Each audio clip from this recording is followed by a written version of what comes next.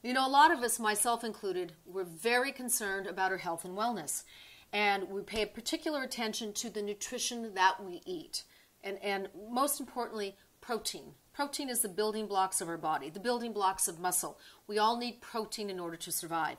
And many of us, many of you, myself included, we're looking for alternative protein sources rather than the traditional meat, poultry, eggs. So I'm reviewing right now a choice that I use. This is a raw protein from Garden of Life. So this is the chocolate Garden of Life protein. It also comes in vanilla and it also comes in the plain flavor. So let me tell you right now what makes this product so special. Okay, A number one, it's raw. That means it's filled with enzymes, and these enzymes are necessary for our body for certain processes to take place. And raw means that the, the, the ingredients inside have not been heated over 108 to 112 degrees. Second thing, it's vegan, it's organic, it is non GMO. Every ingredient in here is non GMO. Non dairy, no dairy products in here, no artificial flavorings, no artificial colors. I mean, it is as clean and as pure as you can get. And what I love about this as well is that there are 1 million living probiotics within each serving. What that's good for is your digestive tract. Now, I'm actually taken some out of the container. I want to show you what it looks like. Powder, obviously, powder form. This is the chocolate, so you can see what it looks like. Okay. Now this is made of 12 sprouted grains.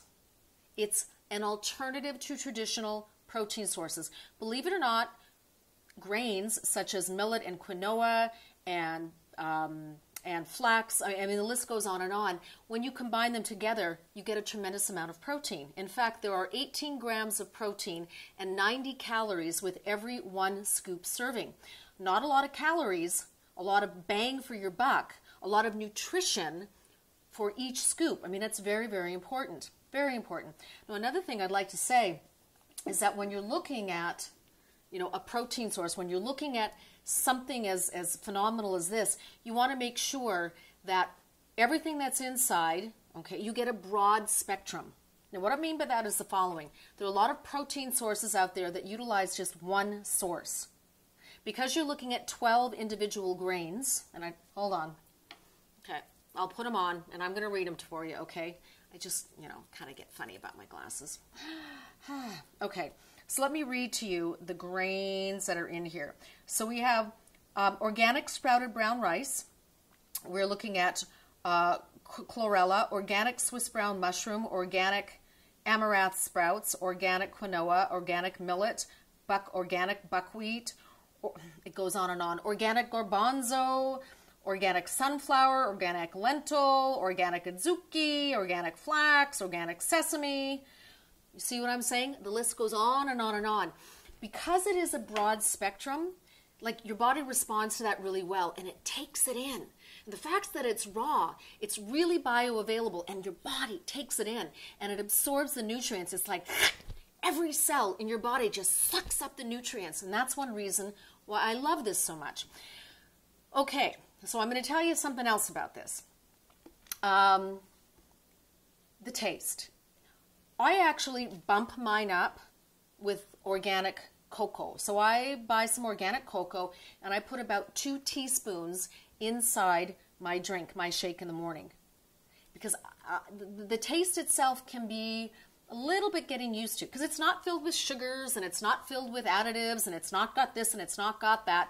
You're looking at real food. So there is a little bit of sacrifice on the taste but it's something that I believe that you're going to be able to get used to. Hey, look, if I can get used to the taste, you can get used to it. I mean, it's really got kind of a an earthy, um, basic, raw taste, and and the benefits of this far out surpass you know, maybe, you know, the lack of tr a tremendous amount of sweeteners or flavors, which, you know, is fine with me. So, if you're looking for a fabulous protein alternative that's easy to use. One scoop, mixed with water, shake it up in a shaker bottle. If you want a smoother consistency, put it in like a, I don't know, like a Vitamix or a handheld blender. maybe a Wolfgang Puck handheld blender.